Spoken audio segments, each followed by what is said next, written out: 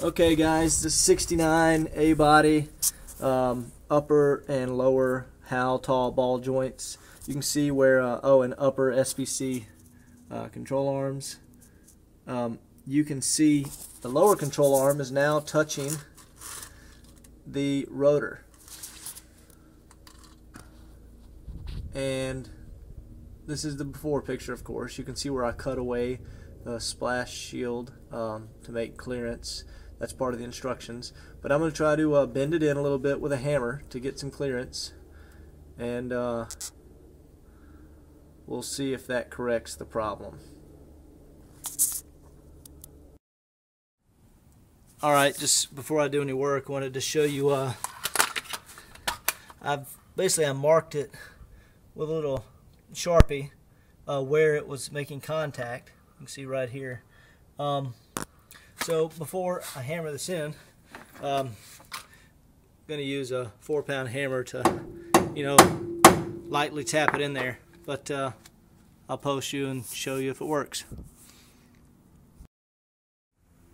Alright guys, this is after about a minute of uh, hammering and reforming.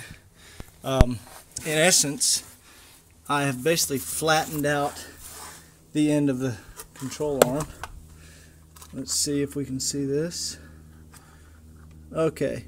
You see how it's you see the ball joint and the tip of the control arm. The control arm has been flattened out. So uh, that will probably give us the clearance we need. I'll connect everything back up and take a look. Actually, I think that might have been upside down.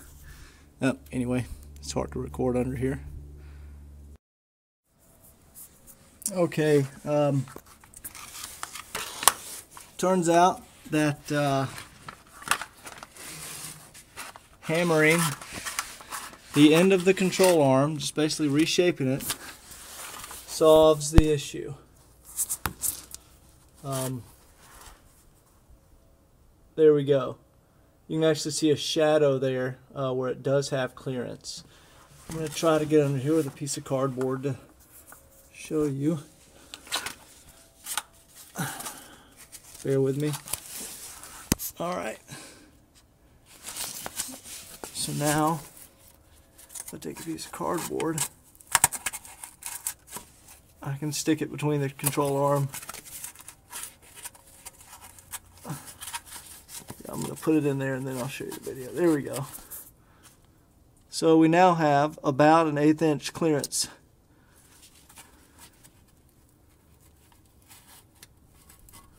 Which uh, that's about as good as it's going to get. Um, because uh, if I bend the end of the control arm in anymore, it's it will touch the uh, bottom of where the ball joint is pressed in. So uh, there's your solution. Um, thanks a lot for watching. Hope this uh, hope some guys find this useful.